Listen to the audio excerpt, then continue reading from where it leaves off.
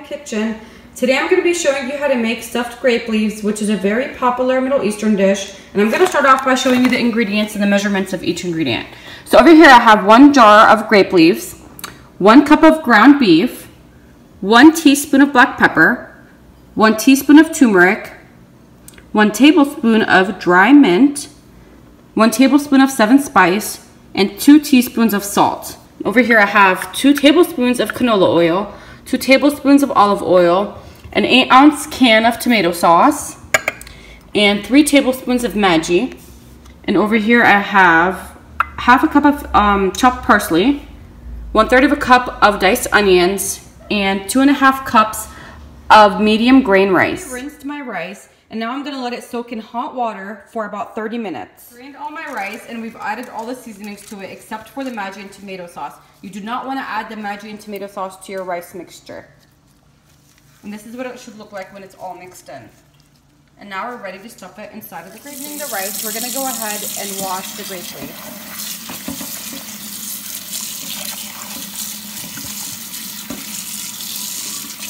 Washing your grape leaves, you wanna strain them. Our grape leaves, we're gonna go ahead and start rolling. You wanna put your grape leaf on a clean surface and we're gonna be putting about half a tablespoon on the grape leaf.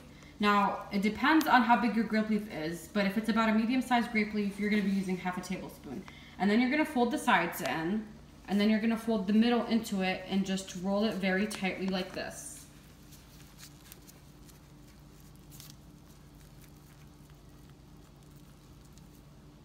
And set aside. And now we're gonna do another one. So you're gonna stuff it with about half a tablespoon of the rice stuffing. And you're first gonna fold the sides in, and then you're gonna fold the middle in, and you're gonna roll it very tightly. What it should look like after it's been rolled.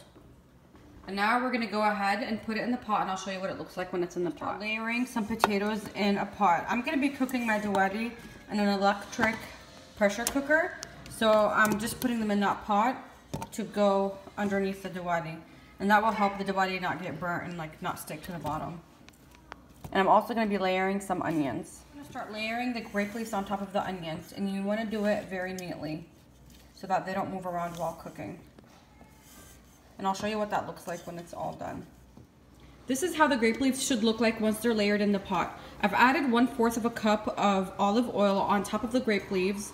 And now I'm gonna go ahead and make the tomato broth that's gonna go on top too, and I'll show you how to do that. Making the tomato broth is boiling six cups of water, and then I'm gonna be adding the tomato sauce and the chicken flavor Maggi, and I'll show you when we get to that part. Okay, now that my water is boiling, I'm gonna go ahead and add the tomato sauce